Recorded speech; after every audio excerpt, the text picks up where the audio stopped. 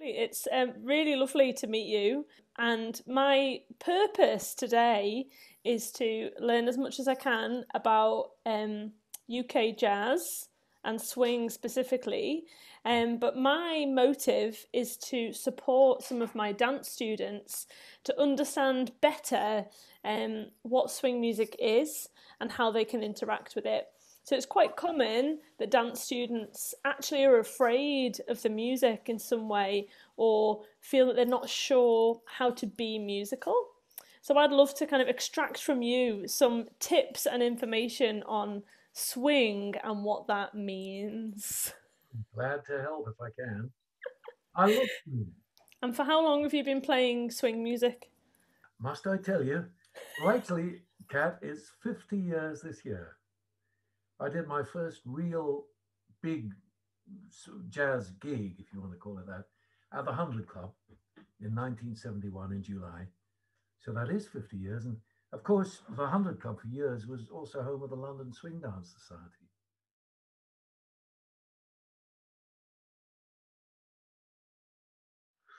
Well, you know, it's funny because Nicola, who's a sweetie and very efficient, she sent that message over to me earlier that question. And I was trying to define groove. And I was going to start by doing a little bit of this and go one, two, oh, double, double.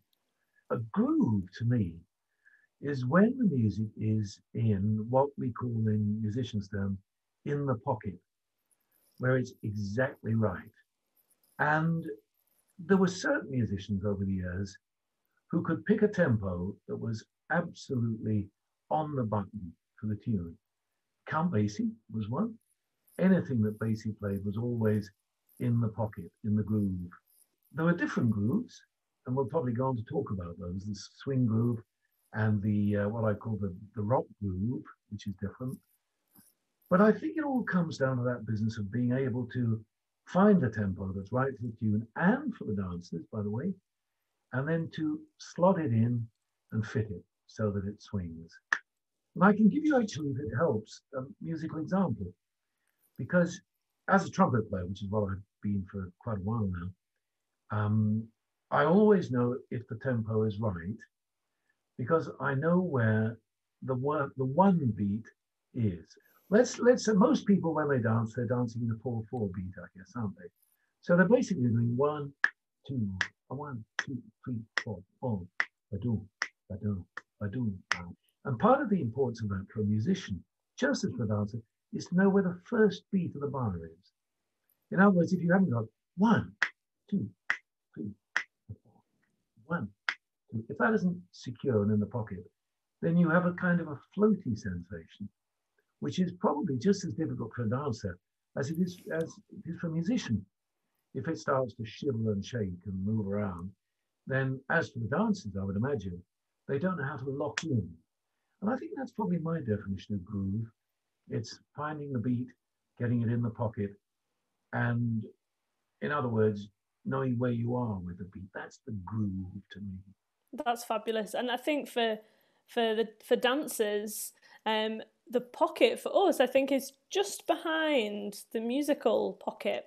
Because of course, if you're if you're really trying to listen and lock in with the band, if you're too early or even sometimes on time, you're gonna miss the you're gonna miss the groove. You're gonna be ahead.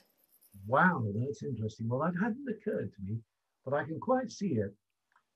In the 50s and 60s, one of the things that musicians did was to hang behind the beat. There's an old record of, of Basie doing a song called Lil Darlin', which is quite slow. And it's do do do do do mm. ba boop ba ba ba ba boo And uh, at one time, it got to be such a thing that it, it became aggravating because I mean, were trying to hang behind the beat, you know, and you say, oh no, come on, come on, please get that groove going. But I think for our purposes, when we're working with dancers like yourself, our business is to place the groove on beat one. and then you can play with it yourselves because you're actually improvising on what we're playing, aren't you? Yeah, absolutely. And I think it was very indicative actually when when you were were kind of singing the one is how often you're um doing a lead in or a pick up. Oh, Be da da lee da ah dee da dee da da boom ba da. And this idea musically, a lot of the time when we think of melody, we do think, oh, it starts on the one, and a lot of jazz moves start on eight. Most jazz moves start on eight. Absolutely. There's a great one that we agree completely on that Louis Armstrong did on a lot of his solos, which um, Wynton Marsalis, who's another jazz trumpeter, pointed out, which is one, two, three, ba do ba boo ba do ba boo da boo ba da. So there's that kind of fanfare that says, "Look out, I'm coming," and it picks up on the. Well, it's actually on the second beat of the previous bar. One, two, three, four, one. Ra da do da zoot. And there you are. Yeah, yeah.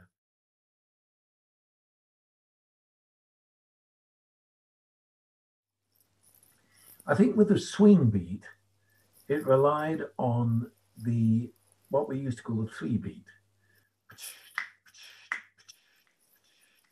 which actually places the emphasis on the what we call the tension beats, which is uh, two and four, the off beat. One and three are the steady beats. Swing beats rely on two and four, which is how naturally the, the dancers and musicians among us snap our fingers. So say we're listening to some jazz and we've got ba boo ba doo ba doo doo doo doo. I'll count us in. One, two, three. Ba boo ba doo doo doo doo doo. Ba boo ba doo doo doo doo doo. So I'm naturally clapping on the offbeat. And if you transpose that into what the drummer was doing on the hi-hat or the top cymbal, it's so that comes on the beats two and four, which naturally lead you on. Now, and that's how swing drummers worked. Now, the funny thing is that when rock and roll came along, in specifically the Beatles, I'd say, but certainly once you had Tamla Motown or um, jazz fusion, you had a specifically different beat, which we call straight eight. Now, this means that instead of uh, the emphasis on the two and the four, like one, two, three, four, that's the swing beat, all of a sudden you've got so the beats are equally emphasized over eight beats or four beats. So that doesn't swing.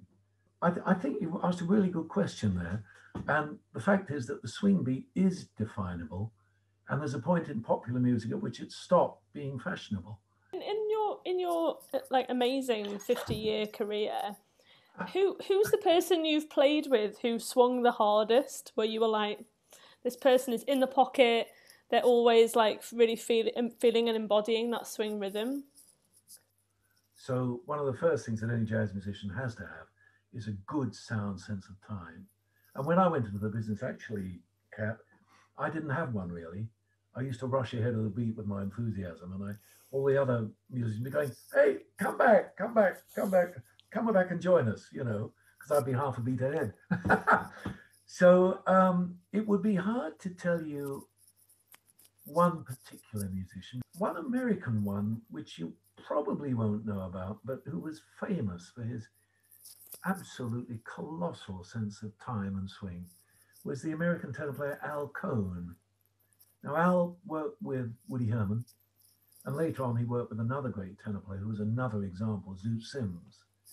And Al, I worked with Al on a couple of occasions when he came to England.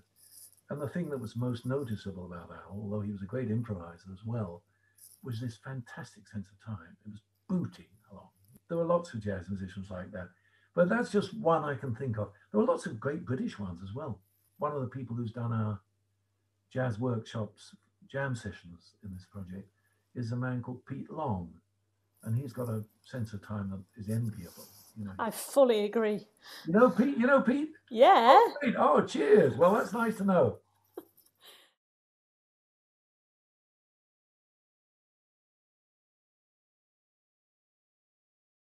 I think most people assume that when a jazz musician puts his trumpet or his saxophone to his lips or his trombone or behind the piano, that he just lets his mind empty and all these incredible creations come out. In fact, in my view, that's not true at all. I think musicians are maybe a little like comedians in that over the years they amass a stock, uh, in comedians' case of gags, or in the case of people like myself, it's, if you like, an accumulated repertoire of ideas. But I would say that when you're faced with a playing situation, eh, as quick as, as lightning, you're listening to what you're playing or what's being played. And some from your subconscious, you bring out the jokes or the phrases that are going to work. And I apply that to a chord sequence. And um, sometimes, actually, over the years, um, I don't. Do you know the tune "Honeysuckle Rose"? My Fats Waller. Baba doo dee, beep doo doo, baba doo doo doo doo. Well, the middle eight is ba ba ba ba ba ba ba doo dee da da boo da boo da boo da ba doo boo boo doo. Well, I've got a whole middle eight that I worked out years ago that fits that whole thing, and I use it most times. Would you like to hear it? It goes. Oh, please. It comes in. It goes. Baba doo ba doo ba ba beep boop boop ba doo boolia boolia boolia ba ba doo ba doo ba ba doo boo ba doo doo boo ba doo ba doo and that took me probably 10 years to to complete so if I come across a sequence that is same as Honeysuckle Rose, and there were lots and lots of tunes based on that sequence actually including a lot of bebop tunes and swing tunes then I know what I've got so at least once I trot it out I wouldn't do it twice because it's like say telling the same joke twice, you know. But I know I've got something up there that's going to get me through. and it, it's so interesting to me that you, you say that it's um, about repertoire because it, it's very much the same as as what, what we have to learn as dancers. Mm. Is that of course there's something very beautiful about somebody's first read on hearing something and how they just interpret and yeah, like let go. Um, but generally, if we're going to be improvising for whole songs, and in the case of swing dancers, all night, we're improvising the whole night. Um, actually having the repertoire so you know, oh, I'm hearing this. This is what my body can do and what is possible. And um, that's when you really start to feel that you're you're adding a voice into what's happening. And, and how does it affect you when people are dancing to your music? Oh, I think it enlivens us. See, jazz, I think, lost out when it stopped being a dance music. Dancing to jazz was endemic to the swing era, obviously. Benny Goodman, Glenn Miller, Artie Shaw, Tommy Dorsey, Jimmy Dorsey, Harry James, all those people. They were dance bands as much as they were jazz bands. And people danced to it. When bebop came along in the 1940s with Dizzy, Gillespie, and Charlie Parker and Monk, uh, jazz took on a whole new intellectual image, which said, um, well, okay, you can dance if you want to, but basically you should be listening to how clever we are, which of course is a marvelous thing in itself. But there's a lovely story that I remember about Stan Kenton, who was a big band leader in the 50s, who espoused progressive jazz. At one particular dance, he was playing some of his marvelous avant-garde creations in a dance hall. And a set of dancers um, came up and tugged him, his band leader's trousers leg, you know, said, excuse me, Mr. Kenton, could you play something we can dance to? And Kenton looked down and snapped at them and said, why don't you dance something we can play to? And it's no coincidence to me that when bebop arrived in the 40s, and it all became very much more of a listening music, all of a sudden, what do you know, hoopty-doo, here comes rock and roll you know, and you've got the beginning of R&B, you've got Louis Jordan. Then a few years after, you've got Bill Haley and his Comets in the 50s. And the people are dancing and jiving and tearing up the cinema seats in the process too, by the way. And then within three or four years, you've got rock and roll, pure and simple. And I think people still do dance to traditional jazz a lot, probably a lot less to the more intellectual end of the music until, and I think, again, this is really interesting, you get to what's happening today and you have a new whole new generation of players like well Shabaka Hutchings is one who I like a lot. He's a clarinet player and a rapper. But basically I, I think once you take music away, popular music anyway, away from dancing, then you you're, you're taking a leap in what a lot of people would call the wrong direction. related to what we were just talking about before. So I've been been doing lots of research about the 100 Club and using some of your fabulous resources on the Jazz Centre website. Great. And all of the music on my course has been related somehow to artists that have played at the 100 Club. Oh, that's wonderful. Uh, so we've just done a week on Jimmy Rushing, Oh, I adore. oh, me too, Mr. Five by Five. Exactly. That's been fabulous because he has such a um, his work with um, Basie and the Newport uh, 57 concert is my favorite album of all time. With Lester Young. Yeah, Yeah. Oh, isn't that a gas? That's certainly in my top ten too. It's yeah, phenomenal. I always think when I'm watching a dancer or a musician, I'm thinking what's happening like in their head, what are they feeling, and how how are they then embodying what they're feeling? As to your point, as an artist, um, and to have things on film is I think is so helpful to figure out what that thought process is. um, you must go below the surface. And I think one of the problems that I face is that when I go on the stand, it's assumed that I'm going to have a good time and I'm going to be on form. And in fact, very few people do. I think, I don't know how you feel because you're much younger than me, but very few people do feel on form every day, 24 hours a day. And sometimes I've had to drag myself on the stand and say, oh God, here we go again, you know, and then, whoa, hello, great to be here, you know? That's I mean, fake it till you make it is very very true.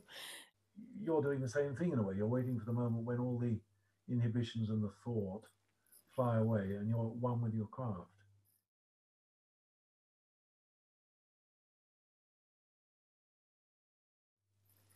It's a bit like saying, What's your favorite food? You know, I suppose if I had to take one artist to a desert island, it would be Louis Armstrong. Because I think he, rep- he was the Shakespeare of jazz for me, the man who created, without pseudo profundity, the way to create the perfect jazz solo. And I can listen to Louis anytime and get something new. Um, a favorite tune, again, that's that's difficult because the, the kind of tunes I don't like so much are the ones that present me with huge harmonic difficulties. Um, what's an example? Have you met Miss Jones? Which has an extremely difficult, what we call middle eight. You know, most pop songs are eight bars, eight bars, middle bit, eight bars, right? 32 bar structure.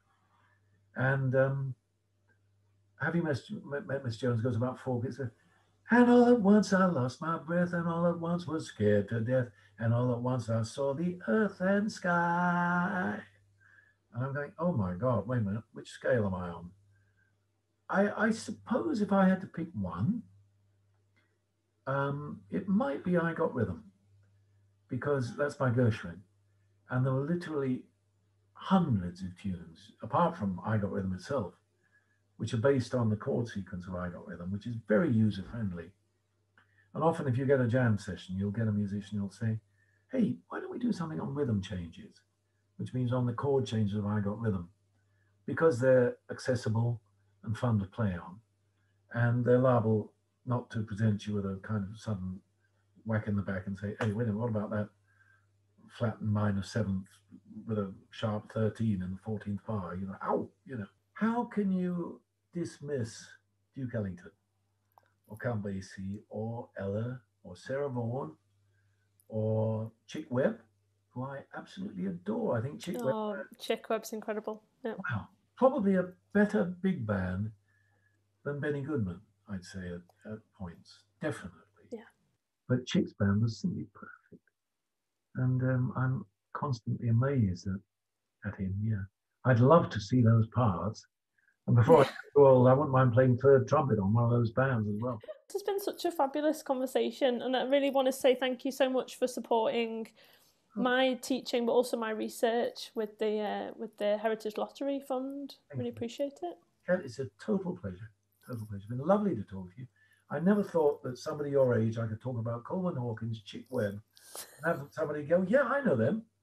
So thank you very much, Cat. Thank you.